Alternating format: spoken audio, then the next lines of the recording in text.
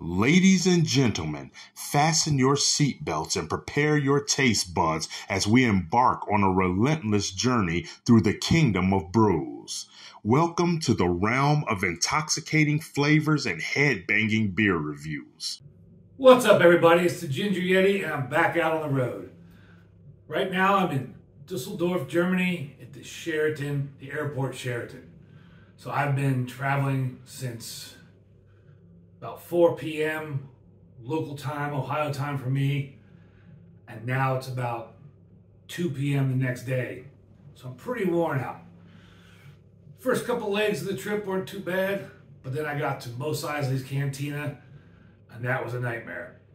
And on top of that, one of my bags is now lost in that black hole. That has to be one of the worst airports in the world. Avoid Heathrow at all costs if you can that place sucks. Anyways, like I said, I'm chilling out here in Dusseldorf, about to start this uh, tour with Whitechapel supporting is Murder. And after such a rough day, I figured why not have a beer. So today I have Warsteiner. I'm sure everybody's familiar with that. Um, and I'm so lazy, I didn't even look at anything about it. I just jumped right into the video. So maybe I'll put some stats up there about the alcohol. Oh, here it is, 4.8% alcohol. It's about the only thing I can read on this bottle. But the cool thing about this beer, I mean, I've I've had it a few times before. It's not that good in the U.S. Over here, it's much better, in my opinion. Uh, but the cool thing about this particular beer today is at this hotel,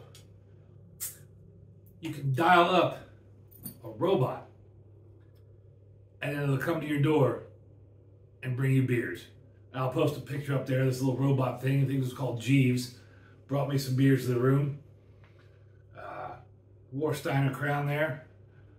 And that was pretty cool having having Jeeves bring me some beers. And as I am over in Europe, everything's a you have to use a bottle opener for it. Nothing's a screw top.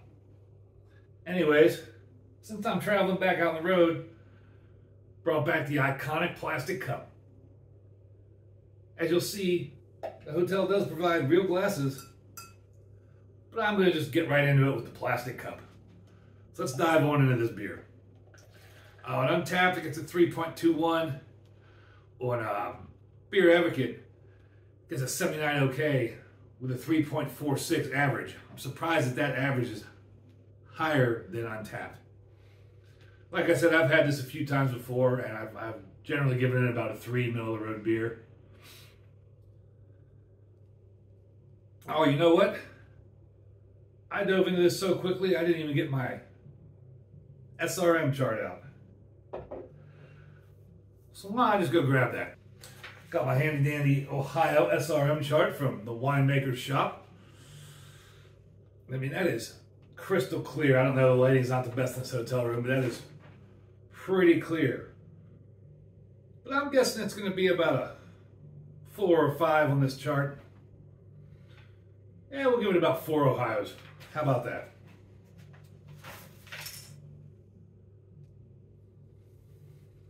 Smell really malty.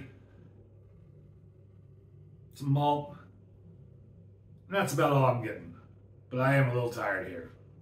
Head, I got about two fingers worth of head. It's not dissipating very quickly. Big, pillowy, fluffy head.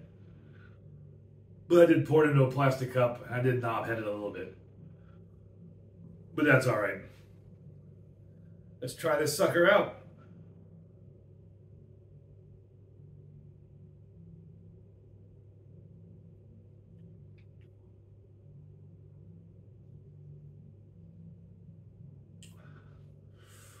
After the day I've had, that is a tasty beer.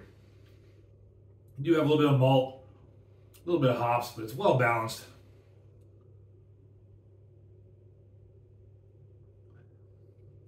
Yeah, just malt and hops.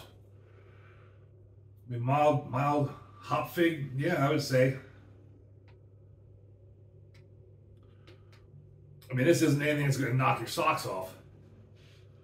But if you need a beer delivered by a robot, you can't go too far wrong with that.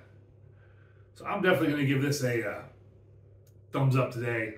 Maybe it's just because I'm tired, burnt out from all the traveling. Or maybe I'm giving it a thumbs up just because of the robot. But I have had a few of these before. Like I said, I would generally give it a three. And it was like three and a half euro delivered by a robot. I would definitely buy another one of these. Definitely drink another one of these.